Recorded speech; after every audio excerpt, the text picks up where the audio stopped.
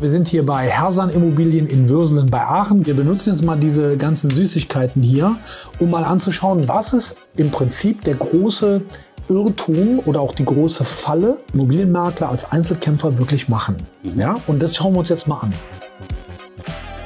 In diesem Video geht es um ein ganz spezielles Thema. Wir sind hier bei Hersan Immobilien in Würselen bei Aachen, komme ich gleich zu. Aber in diesem Video geht es darum, was ist jetzt der Punkt, wenn man als Immobilienmakler, als Einzelkämpfer unterwegs ist? Und was ist das große Problem, was da einen wirklich zerlegt?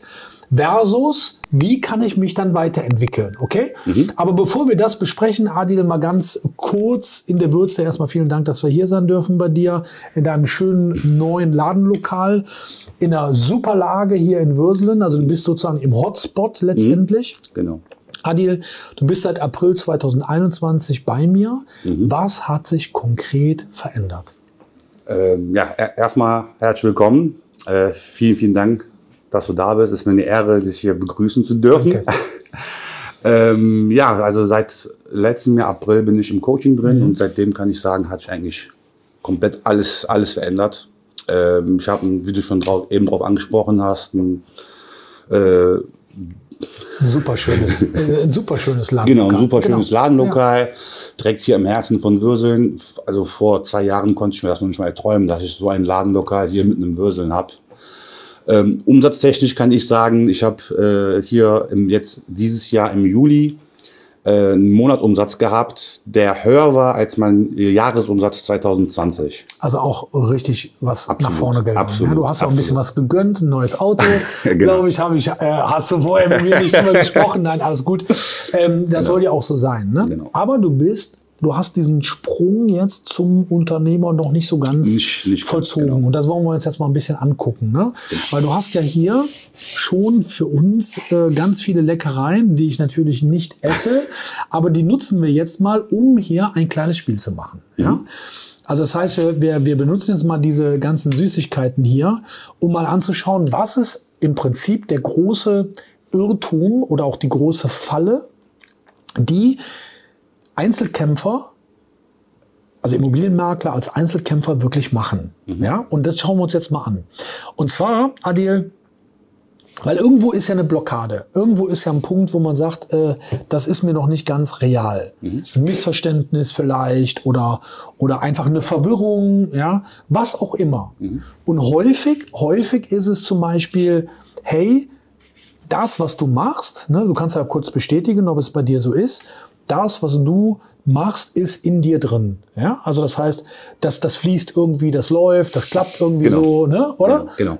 Ja, ist das, ist das ein Thema? Mhm. So, und, und, und jetzt, was, was ist jetzt die Sorge oder was ist dieser Sprung, ähm, jetzt das auf Mitarbeiter zu projizieren? Was da, kannst du das mal kurz sagen? So, was ist da so der, das, die, die, ja, vielleicht nicht die Sorge, aber zumindest mal das, die Verwirrung oder oder also ich denke also es ist jetzt nicht unbedingt eine Verwirrung ich denke das ist bei mir ein, ja ein Teil Mindset Problem mhm. dass ich äh, mir das so nicht vorstellen kann weil ich denke bevor ich jemanden einstelle muss alles zu 1000 Prozent laufen ich muss eine Struktur haben habe ich ja aber ich denke halt, bevor ich jemanden einstelle, muss alles zu 1000 Prozent sein. Okay, genau. Verstehe. Gut, schauen wir uns das mal, wir schauen uns das mal an jetzt. Und zwar, wir, wir machen mal das Beispiel. Wir haben ja drei Geschäftsbereiche als Makler, die ganz wesentlich sind. Mhm. Das ist Thema Akquise, mhm. Einkauf und der Verkauf. Mhm. Um es nochmal kurz zu definieren, Akquise, klar, Leadgewinnung, um Objekte ein, äh, reinzuholen. Einkauf ist wirklich dann beim Kunden zu sitzen, den Auftrag zu machen und Verkauf dann letztendlich die Lieferung an den Verkäufer, was man versprochen hat. Mhm. Okay, so das sind die drei Bereiche. Das sind ja die Bereiche, auf die du dich konzentrieren musst, mhm.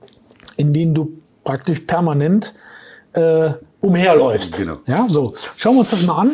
Ich mache mal hier so ein bisschen Platz und sage, guck mal, wir haben einmal hier, jetzt wir fangen mit Akquise an. Okay? Wenn du wirklich regelmäßig Objekte haben willst, was musst du machen? Du musst, sagen wir mal zum Beispiel, wir geben wir nur Beispiele, ja? Zum Beispiel Flyer verteilen. Dann, was müssen wir noch machen? Wir müssen Printanzeigen machen. Wir müssen auch noch ein bisschen Online-Marketing machen, hier so Social Media, Instagram, Gedönsrad. Ja, dann haben wir vielleicht noch ein bisschen hier Direktmarketing, ne? die klassische Kaltakquise, wie viele sie kennen.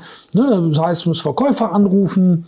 So, was haben wir denn sonst noch so? Dein Ladenlokal muss ja auch besetzt sein, ne? damit, wenn mal einer reinkommt, das läuft. So, wir nehmen jetzt mal nur eins, zwei, drei, vier, fünf Bereiche. Okay? Fünf. Mhm. So, jetzt gehen wir weiter. Jetzt kommen, jetzt kommen die ersten Leute und sagen, Herr Herr Sahn, ich möchte meine Immobilie verkaufen. Das heißt, Telefonate führen im Einkauf. Ne? Qualifizieren. Mhm. EK1. Hinfahren. Objekte anschauen. Immer weiter. Sagen, jetzt muss das bewerten danach. Mhm. Und hier, machen wir ganz ehrlich, jetzt gerade in der jetzigen Phase, ja, wo die Zinsen, die Finanzierung steigt, jetzt, also Finanzierungskosten, jetzt wird die Bewertung von Immobilien umso wichtiger, damit man sich nicht verhaut. Ja? Genauigkeit, Professionalität, ja? Okay, bewerten. Dann muss ich ja nochmal mit dem Verkäufer sprechen, EK2. Und ich muss natürlich, jetzt fehlen mir gerade hier die Dinger, und ich muss am Ende des Tages noch, warte, nimm mal ein anderes, und ich muss am Ende des Tages natürlich auch noch den Alleinauftrag machen. Mhm. So. Eins, zwei, drei, vier, fünf, da sind schon fünf, äh, sagen wir, aufwendige Arbeiten und Prozesse dahinter. Hier auch sind Prozessschritte dahinter. Okay, gehen wir weiter. Jetzt haben wir das geschafft. Jetzt machen wir, kommen wir das nächste. Jetzt müssen wir, jetzt haben wir den Auftrag, jetzt müssen wir das Ding aufbereiten. Ja?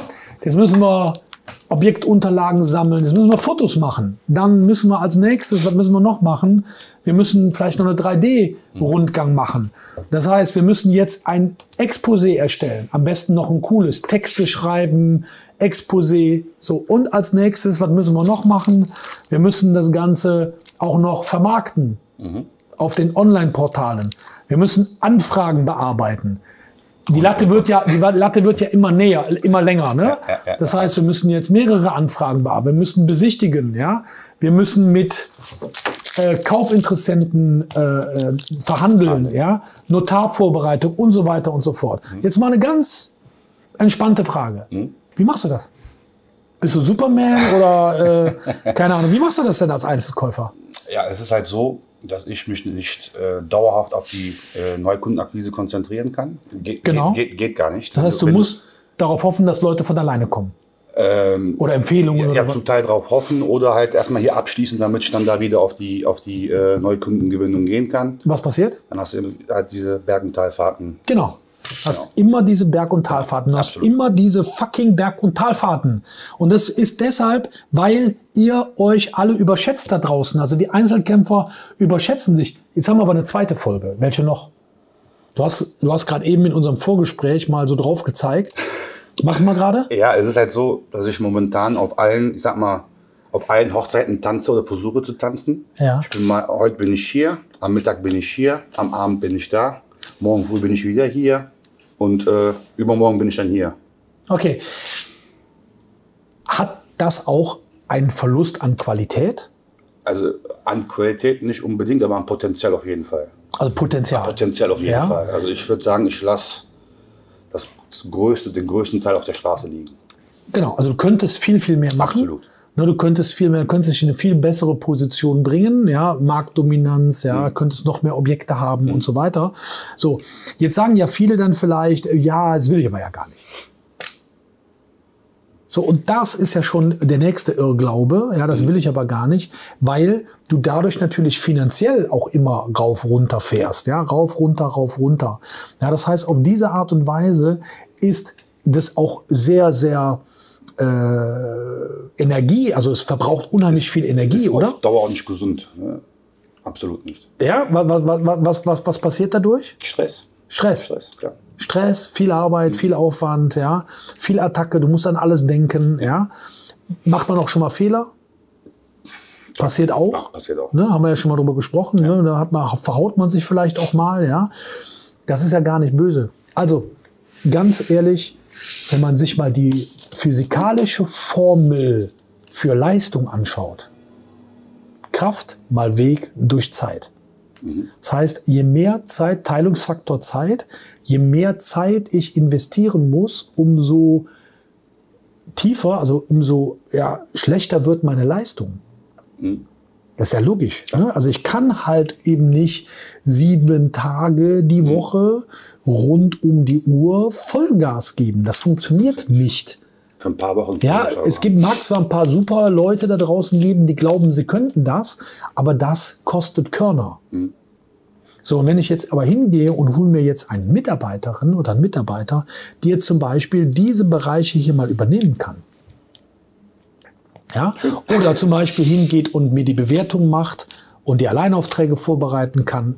Ja? Oder zum Beispiel der komplette Verkauf, der, wenn man es ja richtig macht, wie bei uns im Coaching, komplett systematisiert ist. Also jeder Handschlag, jeder Handgriff mhm. ist im Prinzip vorprogrammiert beschrieben mhm. und kann auf gut Deutsch gesagt ein normal, durchschnittlich intelligenter Mensch auch ausführen. Mhm. Oder? Absolut. Nein. Das ist überhaupt gar nicht das Thema. Da muss man nicht äh, Superwoman oder Superman für sein. Mhm. Das heißt, das kann ich jemandem geben. Die Objektaufbereitung kann ich jemandem geben. Ja, ich kann jemandem äh, ähm, ich kann einen Fotografen engagieren, ja. Ich kann äh, das Exposé schreiben lassen. Ich kann ein Exposé setzen lassen, High-End, ja. Mhm. Und ich habe ein geileres Exposé als diese Kack-Exposés, die da jeder, äh, jeder hat, äh, die aus, aus der CRM rauskommen. Absolut. Weil die hat ja jeder Makler. Absolut. Und das ist ja nicht äh, unser Anspruch. Wir wollen ja Wow-Faktor-Verkauf machen, also brauchen wir auch ein cooles, extrem cooles Exposé. Ja. ja. So, und das kann ich aber auch machen lassen. Ja, was führt dazu automatisch? Entlastung. Du wirst entlastet und du kannst dann wiederum coolen Scheiß machen. Was kannst du? Du kannst mehr Objekte ranholen. Du kannst mehr in Marketing reingeben, ja, und fährst das Ganze hoch und baust dir im wahrsten Sinne des Wortes eine Maschine auf. Und jetzt tun wir das alles mal weg, hier das ganze Spiel, ja. Und am Ende des Tages haben wir eigentlich nichts anderes als, dass wir uns ein, ein, ähm, ein Fließband aufbauen, ja, aus Akquise, Einkauf und Verkauf, mhm. was permanent rund läuft, was permanent rund läuft. Mhm. Leuchtet das ein? Auf jeden Fall. Also macht das Sinn, vom Makler zum Unternehmer, Klar. sich da weiterzuentwickeln? Klar. Ja, weil das ist, schau, ein Unternehmen, ein Unternehmen braucht auch immer Entwicklung. Mhm. Das ist unabdingbar. Weil wenn du ein Unternehmen permanent ähm, ähm auf so einem Level hältst, ja, was kannst du nie? Du kannst, kannst du in Ruhe in Urlaub fahren? Nicht wirklich. Also wirklich in Ruhe? Nicht, nicht wirklich. Kannst du nicht, geht nicht. Ja? Ich, war, ich, war, jetzt im Urlaub und musste zwei Wochen den Laden zumachen. Das heißt, du schließt deinen Laden ab? Hab in der Zeit fünf Anrufe bekommen, die ihre Immobilie verkaufen möchten. Hab jetzt äh, diese Woche und nächste Woche Termine. Mal schauen.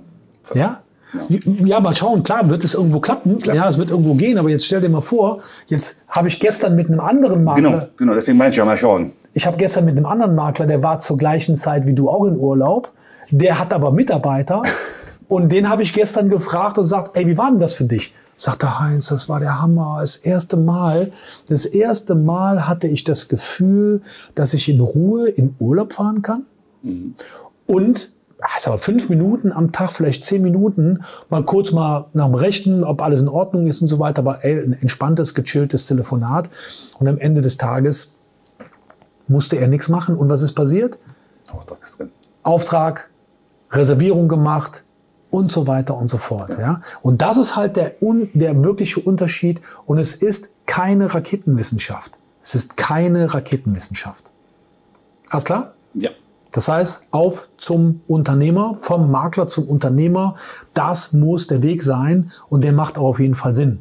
In diesem Sinne, und wenn ihr auch Bock habt auf diesen Weg vom Makler zum Unternehmer und euch dieses Video mit heute Haufen Süßigkeiten gefallen hat, dann ähm, macht mir einen Daumen hoch, schreibt gerne in die Kommentare rein und in der Infobox äh, seht ihr alles weitere. Ihr könnt natürlich gerne auch eine kostenfreie Coaching-Session bei uns äh, buchen und vor allen Dingen uns auf den sozialen Medien folgen wie TikTok, Instagram, Facebook, äh, wo auch immer. Abonniert unseren Kanal natürlich definitiv nicht vergessen. Und bei dir bedanke ich mich, Adi, dass du dieses kleine Spiel hier mitgemacht hast. Und in diesem Sinne macht's gut.